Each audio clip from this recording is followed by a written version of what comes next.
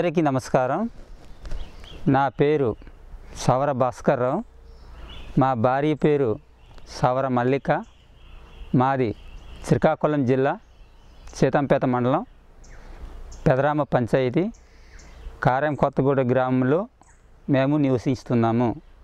మేము గత ఐదు ఆరు సంవత్సరం నుండి నేల పనస పండిస్తున్నాము. అయితే గత మూడు సంవత్సరాలుగా ప్రకృతి వ్యవసాయ పద్ధతిలో నేల పనసలో పోషకాల యజమాన పద్ధతిలో ఏ విధంగా ఆశ్రిస్తున్నానో చూద్దాం.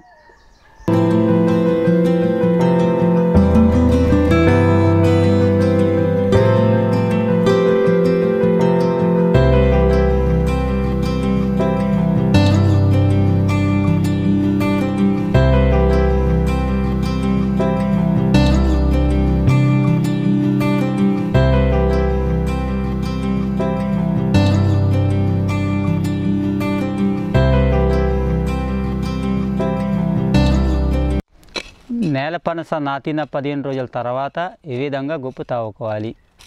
ఈ విధంగా తవ్వుకోవడం వలన కలుపు నివారించుకోవచ్చు.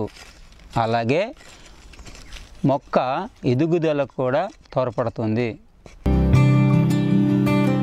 ఈ విధంగా తవ్వుకున్న తర్వాత నాలుగైదు రోజుల్లోగా ఘనజీవ అమృతాన్ని మొక్క మొదలు భాగంలో ఈ విధంగా వేసుకోవాలి.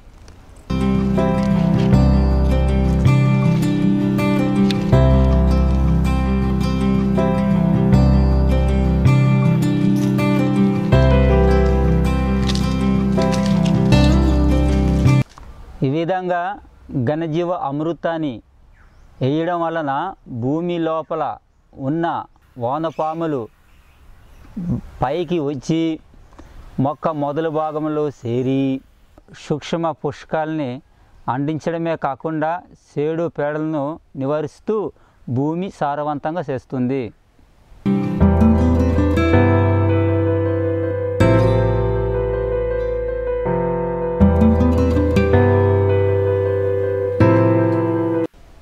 ఆ తర్వాత ముప్పై నుండి నలభై ఐదు రోజుల్లోగా తయారు చేసిన ద్రవజీవ అమృతాన్ని పిచికారీ చేసుకోవాలి.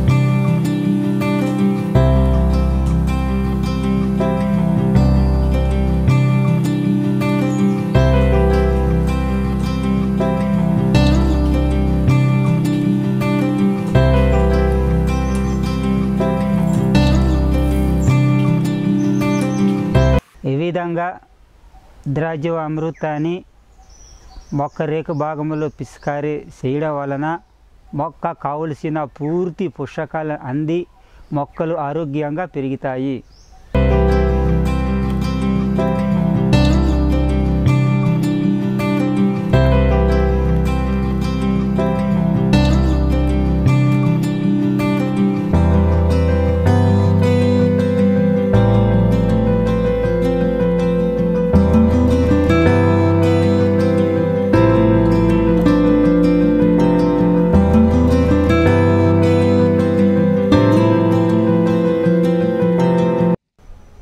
విధంగా పూత దశ వచ్చినంత వరకు ఘనజీవ అమృతాన్ని మరియు ద్రవజీవ అమృతాన్ని వాడుతూ కలుపు నివారిస్తూ ఉండాలి.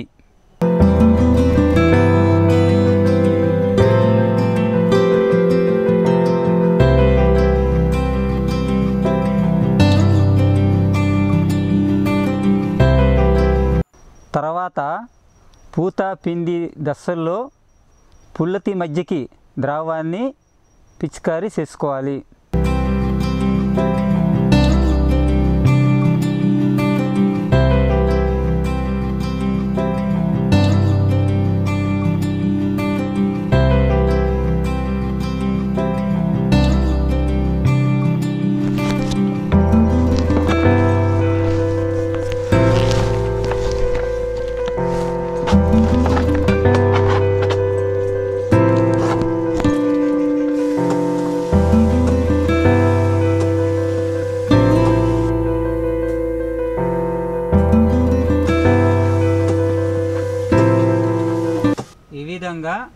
పుల్లతి మధ్యకి ద్రావాన్ని పిచికారి చేయడం వలన అన్ని రకాలు తెగులును తట్టుకొని సామర్థ్యం పెరిగి పిండి రాలకుండా కాయ నాణ్యత పెరిగి నేల పనస బరువుగా ఉంటుంది.